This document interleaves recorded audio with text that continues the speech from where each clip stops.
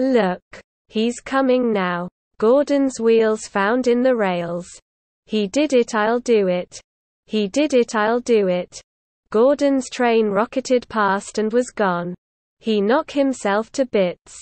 Chuckled Duck.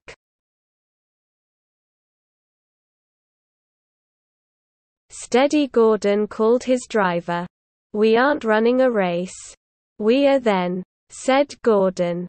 But he said into himself, suddenly Gordon began to feel a little strange.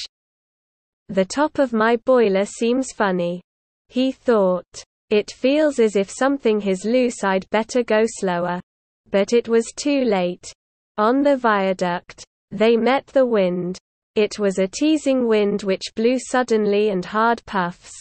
Gordon thought it wasn't to push him off the bridge. No you don't, he said firmly. But the wind had other ideas.